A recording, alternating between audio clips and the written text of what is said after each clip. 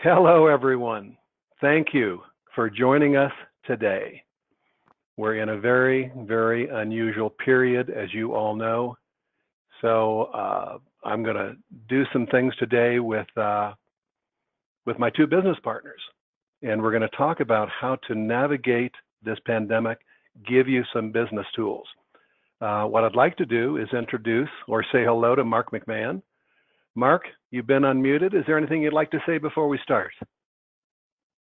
Uh, hello, David. Yes, and thank you How for giving you? me just a few moments to talk. Sure. I am doing well, thank you.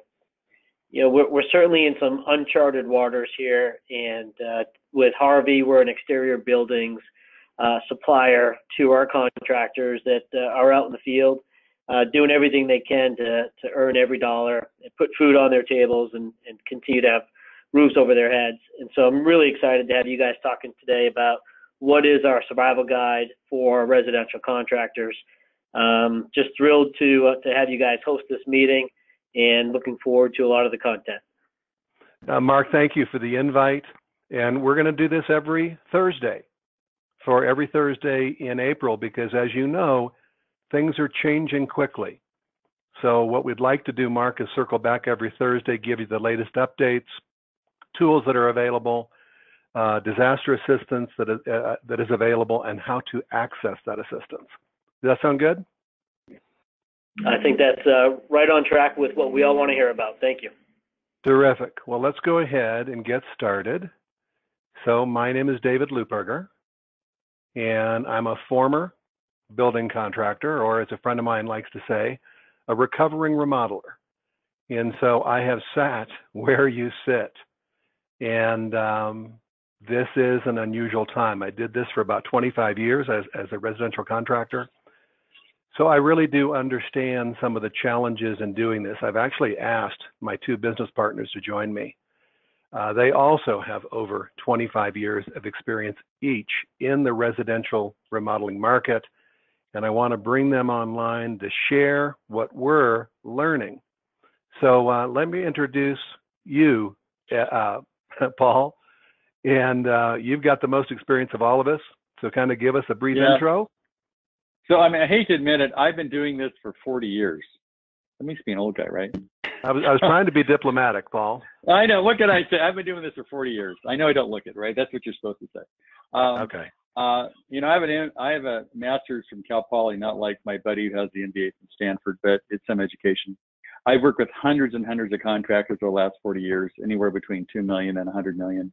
And I've learned what everybody does right and what they do wrong. Um, so I got a lot of experience. Unfortunately, I don't have any experience in pandemics. This is like a learning experience for me. My very first pandemic, at least it was declared. So it's an exciting time. We're working with working with about 50 contractors now that, that we are clients, and everybody's got new information every day. So it's it's challenging and exciting time, but any any adversity has opportunities, and that's what we're looking for. Why don't you pick it up here, Ed? Well, hi everyone. My name is Ed Earl. I uh, I'm in San Diego, California. I um, for the last 20 years have run a construction project management company. I serve as an owner's rep for custom high-end homes and high-end remodels, and I'm the guy with the MBA from Stanford. So uh, I've got a kind of a corporate business background as well. So um, and been a business coach with the two gentlemen on this call here for for quite a while. I've known these guys for for a long time and um, just excited and, and happy to be here and to hopefully help you guys navigate these challenging times. So, shall we get started here? Yeah, go, Um, go ahead and run with this, Ed, because, um, Okay. Yeah, share some of our experience. Yeah. So, you know, we are, between the three of us, we're talking to about 50, over 50 residential contractors nationwide every week. So we really have our finger on the pulse of what's going on. And we're telling you it's changing daily, um, if, if, if not at least weekly, if not daily. And so the purpose of these webinars is going to be to give you guys the latest information, the latest strategies and approaches that we're hearing. Uh, everyone is in a different place. I don't know, depending on, on what state that you're in, you might have uh, no restrictions on construction. You might have some certain limited ones. And unfortunately, if you're in one of the five states um, right now, there are uh, no construction allowed um, in in five of five of the states. So we're going to be here to give you kind of all of these resources and information as we as we go forward. So today we want to share with you five survival tips. So let's move on to the first tip, which is communication is key. You know, in this time of, of, of this crisis, it is so important for you to communicate and communicate to your three primary audiences. And those are your employees, your clients, and your prospects. Now, your employees, your message to each of them is a little different, right? So your employees, they need your leadership. They need you to assure them that you are going to make it through this crisis, right? For those of you that have been through ones in the past, if you've been around long enough to have survived what happened to us all in 2008, you can rely on that as well. Now, this doesn't mean that you're not scared yourself, that you don't have your own fears and your own concerns. All of us do. But to your employees, you need to be expressing yourself as a confident leader that's going to lead that business forward. Now, the second group that you need to speak with is your clients. Your clients need to know a couple of things. First off, if you're actually working on their jobs, they need to know that you're taking all the required safety precautions to make sure that you're doing everything that's needed to, to curb and not to spread the, the COVID 19 infection. The second is obviously we're having uh, unanticipated circumstances that are causing everything from from inspection delays to uh, supply chain disruptions, and all of those can impact your completion schedules. And so you need to communicate with your clients as those things come up. And believe me, as I said earlier, this stuff is happening on a weekly, if not daily basis. So you need to be communicating with your clients much more frequently. And then the third group that you need to speak with is your prospects, right? Your prospects need to know that your company is moving forward and that you will continue to build after this crisis is over. Now, let me give you a couple of other ideas uh, on this communication here. You know, I'm sure that you are all in the same information overload that we all are, right? Everyone is sending out emails. So, what you need to do is you need to realize that at this point, people want to hear from you. They want to they want to see your face. They want to hear your voice. And so now is not the time to be just sending out a bunch of emails. There are so many people already sending those emails. Don't be part of that noise. Pick up the phone, call your client. If they're not there, leave them a voicemail. They'll really appreciate hearing your voice. And if you need to leave them a voicemail, and we know a lot of people are just getting inundated right now, just send them a quick quick text and say, "Hey, I just left you this voicemail, and I just want you to to, to listen to it." So also um, be face to face with your clients. You know, in this this time of of social distancing is not an excuse to not be face to face. There are ways that you can do this, and I want to share with you three of the best um, technologies that that we're using and encouraging all of our clients to use. So the first of those is Zoom.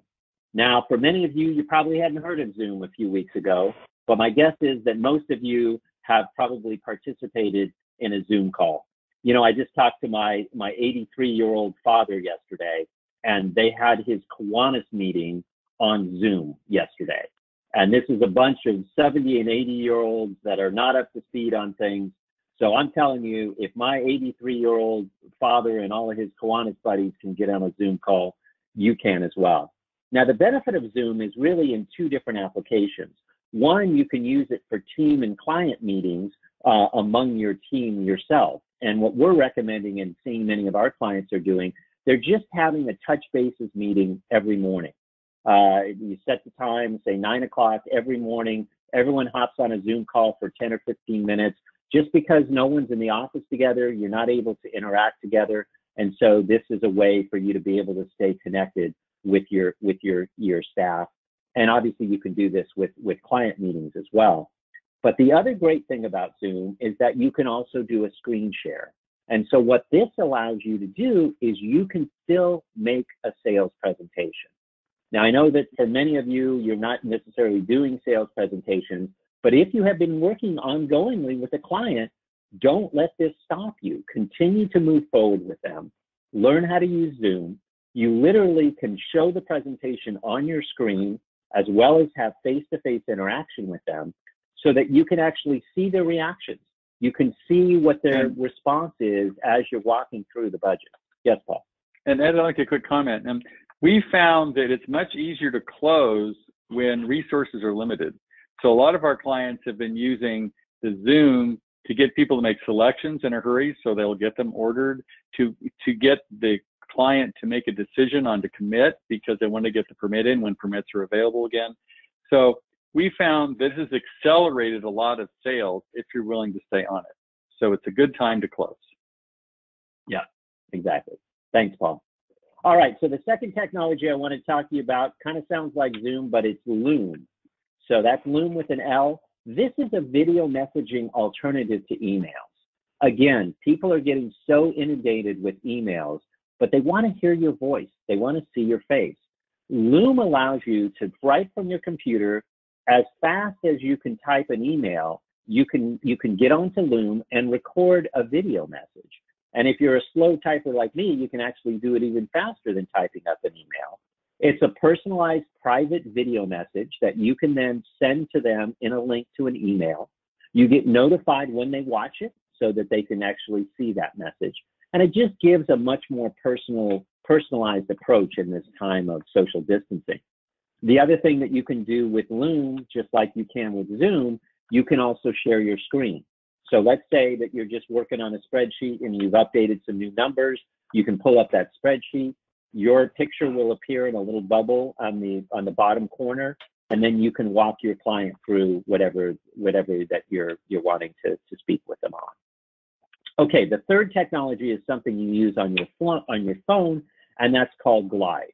And Glide, just like like Loom is the alternative to, to an email, Glide is an alternative to a text message.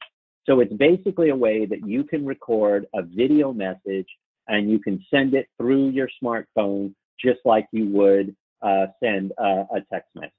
Um, I prefer that to, I know that if you have an iPhone or a Droid, you can record a voice message and send that as a text. But the thing that I like about Glide is a couple of things. One, they'll actually see your face. And two, you actually get notified when they're watching the video. So you know that there was confirmation that they actually got your message. All right, so those are three key um, key uh, strategies for keeping communication. So I'm going to turn this over now to Paul and let him talk to you a little bit more about uh, marketing in this in these challenging times. Thanks, Ed. Well, marketing is my favorite subject. I've been doing this for 40 years and I still love marketing. And I see this crisis as an incredible opportunity to market. People are going to be listening to you. They haven't listened before. You know, in the foxhole, everybody becomes buddies. So we're sort of in this war together, which allows a lot of the barriers to relationship to be broken down. So this, this crisis will leave opportunities you haven't had in the past. Um, maybe the best time to be selling, but it's best time to be marketing. And I consider, you know, marketing is everything you need to do to get the phone ring. Marketing is what you do to let people know that you can help them. And then sales is getting people to commit to that help or everything that happens after the phone rings. So it's a great time to do that. Um, moving on, I'd like to talk about architects. So the pandemic training a shift and remote communication, embrace the technology. I call this like the, lack of a better term, the digital revolution for construction. And it, people are now, I've got one guy who's finding he running his company, you know, from his living room and is working just as well. People are more open to that kind of thing. So if you happen to have a cloud-based management system like CoConstruct or Buildertrend or any of those, now is the time to shine because a lot of contractors don't, and you can manage jobs where other people can't remotely. So it's a great opportunity. Video, video conferencing like Zoom is a great time to talk to people it's all an amazing opportunity. And the good news, you can do it from your living room. Now, I've been pushing marketing with architects for many years, having done been in residential construction for, you know, 40 years. Um, I've tried everything, literally everything, and spent a lot of my money and other people's money trying to figure out how in the heck do you get a relationship going with an architect. Now, architects already have a favorite contractor, and it's probably not you. So normally this process takes a long time. It takes, you know, like six meetings, you got to meet with people, and we've got a whole system we've developed over time on how to meet with architects. But the good news is now that architects are probably more willing than ever to take your phone call because they're sitting at home. Now, so it's easier to get to them. You set up a Zoom call and you can demonstrate your web-based software. Now, I'm going to vary a little bit from our um, topic because we have some literally news of the day, right, Ed? This is like today. Um, tomorrow, there's an application opening for it's called uh, is it what's it Ed? Personal what is it? Perceived um, give me the initials here. The payroll payroll protection plan. Payroll protection plan. You can now you can apply for that as of tomorrow. Now the thing is, there's only 388 billion dollars to dole out in this payroll protection plan, which sounds like a lot of money until everybody applying for it. So as of tomorrow, and this is going to change, if you don't apply, you maybe not get the money because you know you're not going to be in line. Now this is a significant amount of money. Um, it's like eight, what is it, eight times your weekly, it's your eight weeks worth of payroll, right?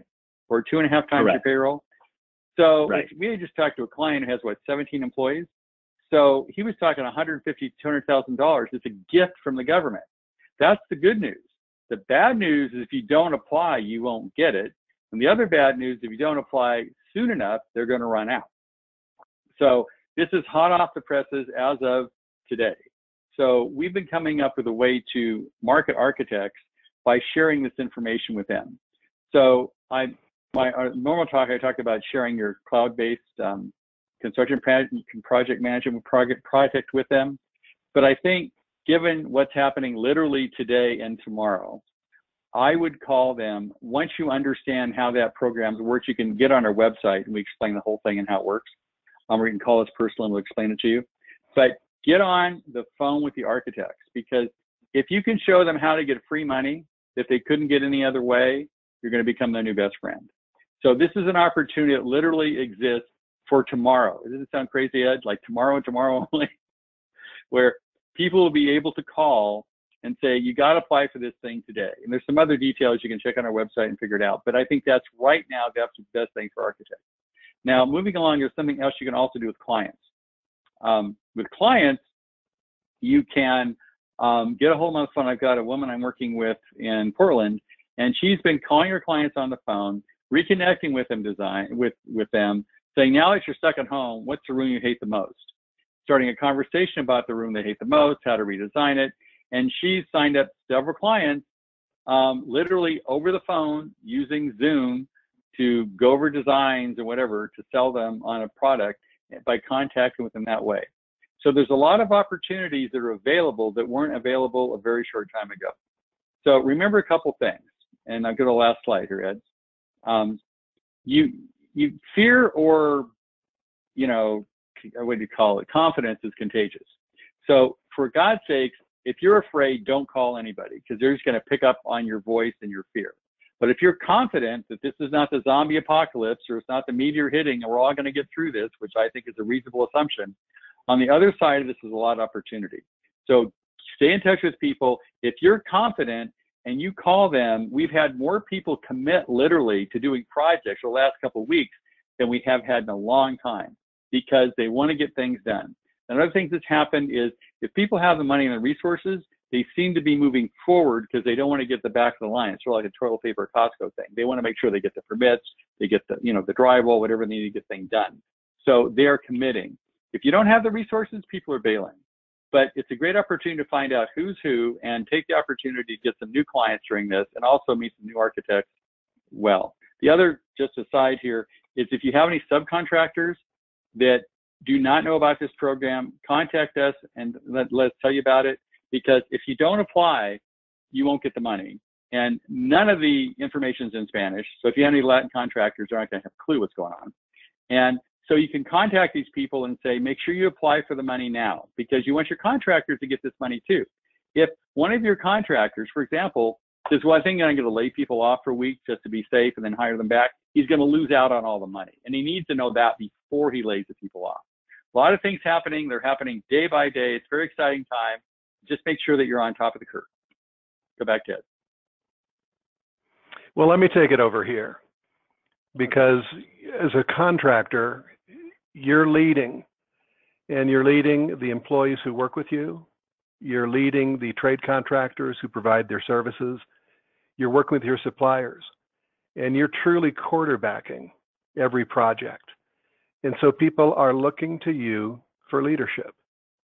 So as you know, Ed mentioned earlier, if you're still working on site, you know, really following the CDC hygiene recommendations and communicating that to both staff and clients. But let's go one step further. Come up with a plan with your company, whether you have two employees or 10, and basically come up with a plan collectively, collaboratively, of what we're going to do and how we're going to move through this together. In the absence of information, people get scared. And I will guarantee you, you have employees now who are wondering, will I have a job next week? This is where we can step in and begin to fill the void. Number one, when you're sitting with employees, communicate if they're sick, stay home. Begin to survey employees if they have families, school age children who can't go to school. Do they need to work from the house? If so, can you make sure they have remote access? What can they do from the house? And really communicate to your employees, we're in business. You know, we're moving forward. If you're working on site, doing it safely, if work has been furloughed, furloughed, then communicating to your employees, um, we're moving forward. And you'll see as we get into some of these loan, uh, the disaster loan opportunities that are available, you can put together a plan. So it's really communicating to employees and to clients you're moving forward using some of the remote communication tools and communicating to your employees that you are proactively leading them through this crisis. So, in the event that there is a community shutdown, create a list of the minimum employees needed to maintain or to oversee anything that needs to be done during that slowdown. Uh, simultaneously, if people are not at work, you know, we oftentimes work with contractors around the country, and there's a distinction of working on the business versus working in the business. We're all busy working in the business, and so oftentimes when we bring up team training or the creation of standard operating procedures and documentation, you know, the common response is, well, I'm too busy. Well, is there an opportunity now to work on your business, to put that time aside, a day a week, where you with your team can focus on some business related documentation and move this into a place because when this ends, and it will end, that you'll be ahead of where you are now because of the projects that you could could could complete work on. So when you're working with uh, you know clients and they say, "I'm not sure what we're going to do right now. Can we just kind of you know take your foot off the gas?" As Ed was saying, continue to engage your clients in that virtual design environment. Uh, we can almost do everything online between Zoom and Loom. Every supplier you know, can supply links to selections. So we can continue to work with clients moving through the selection process. And as Paul said, can we get to a point where we can submit a permit? When we really look at things being held up as they are right now, if someone says, I'm waiting to see, in the last two years in this environment, you know, we've had contractors who've had three, four, five, six month backlogs. And what I'm trying to tell our clients now is if you can work with your customers and move them through the design and selection process, they're at the front of the line. And if someone doesn't pursue that in the three or four months when we come out of this, they're going to be back into that three, four, five, six month backlog.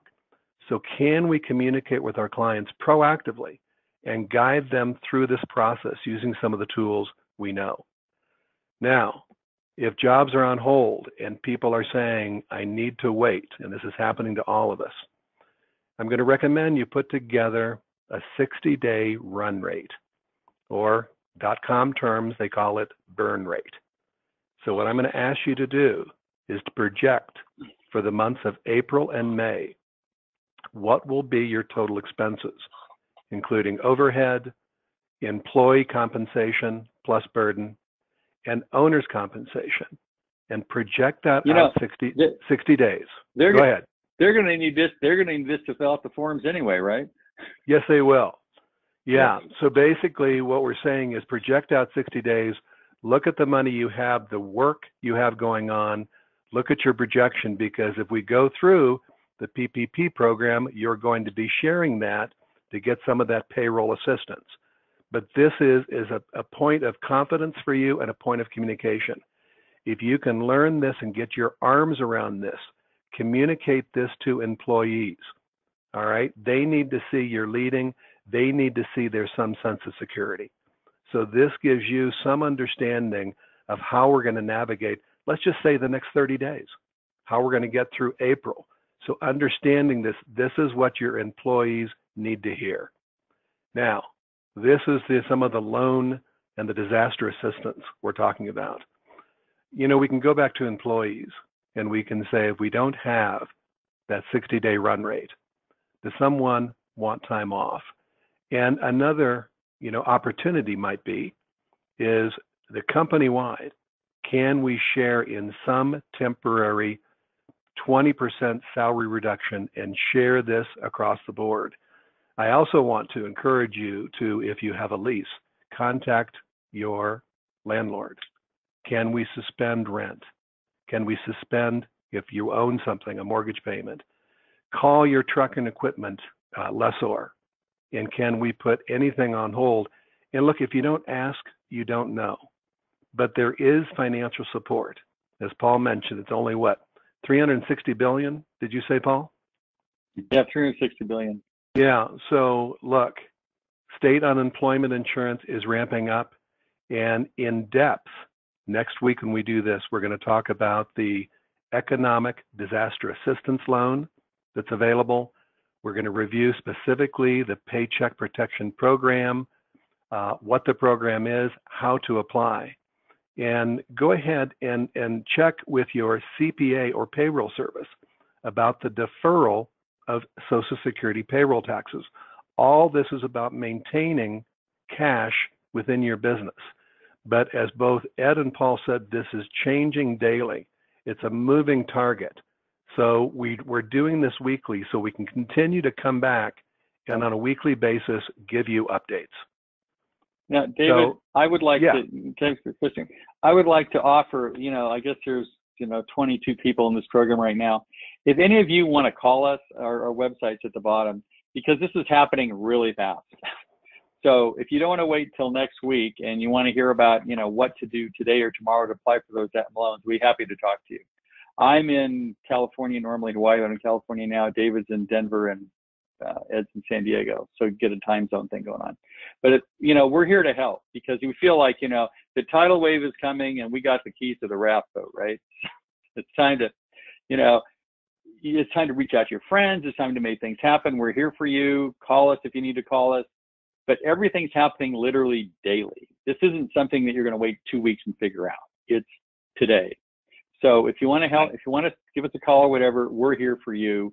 And it's not going to cost you anything. We'll be happy to help you out. Yeah, and, and to on this program piggyback that, that, Paul, that we're going to do no cost every Wednesday at 9 Pacific, noon Eastern, just a one hour open coaching call. And we did it this Wednesday, had about 20 people online reviewing questions, answering questions, and just providing some of that backup assistance. So we'd certainly encourage you uh, to join us, you know, during that time. Is there anything else you'd like to add, Ed? Yeah, let's go back to the, the, the slide, the fifth slide. I just want to summarize here on our, our fifth point. Um, and um, we are, there we go.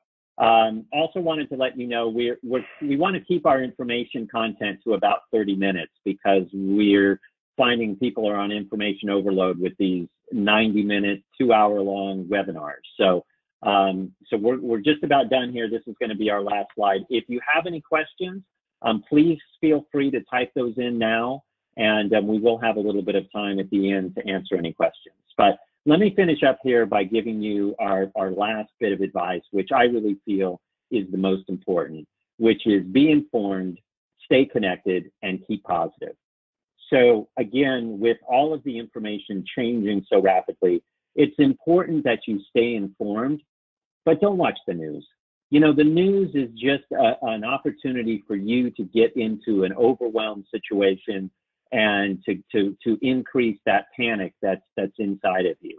Um, and that's great for selling newspapers and getting eyeballs to, to watch the television, but it's not good for your personal well-being. I'll just share with you last week, um, by Friday, I'd had it. I, I, read this article on Friday night that just had me convinced that, you know, we were all going to be, be doomed. And, and I woke up so depressed on Saturday and I said, you know what? I'm taking a, a two day news fast and I didn't watch the news. I didn't check my phone to read any, any kinds of news updates. I didn't get online. I just took two days to clear my head. And when I went back to everything on Monday, the news really wasn't that much different. So be selective. Don't watch the news. You know, in today's world of the internet, there are so many great information sources. Um, you know, be selective. Find well-researched, well-documented articles from reputable sources and use that to, to build your information. Second is connect with your peers. You know, reach out to your colleagues. Um, if you're in a in a Builder 20 group or or or any kind of a group like that, reach out to them reach out to your trade partners. As Paul said earlier, you know, everyone's trying to figure this all out together. Now is the time to, to reach out to them. Next, you know, be optimistic about the long term and focus on short-term solutions. That's all we can do at this point. No one really knows where we're going to be in in two or three months, you know, let alone six months from now. So really focus on the short term and be optimistic for the long term. This is a pandemic.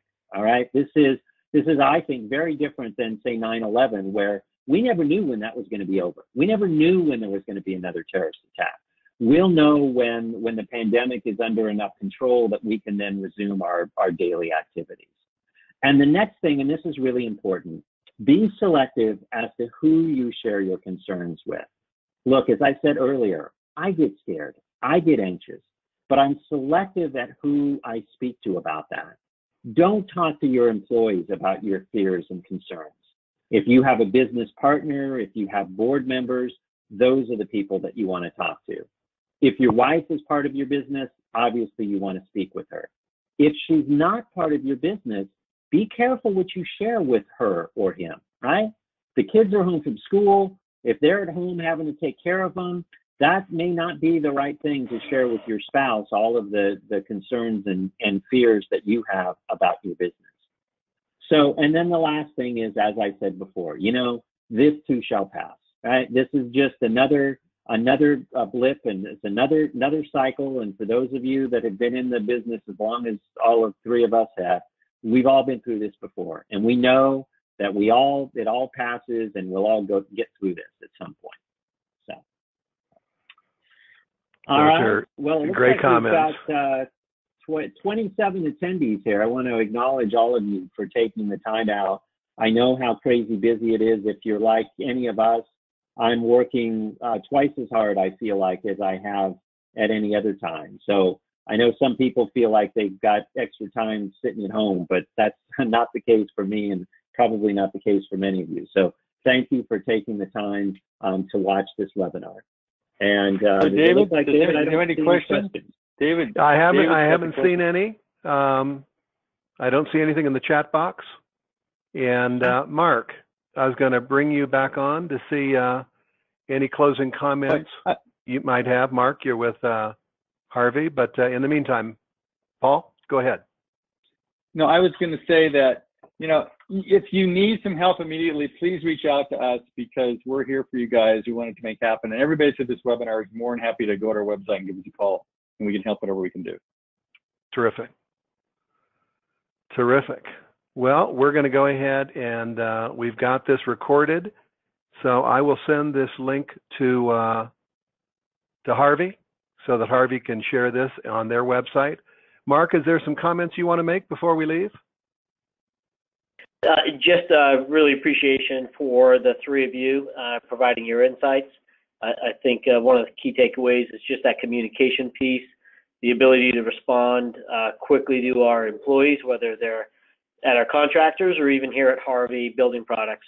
Um, we are going through some uncertain times, but the confidence and the communication I think are so critical in us getting through this together. So just really thanks for your insights. Mark, thanks for the You're invite.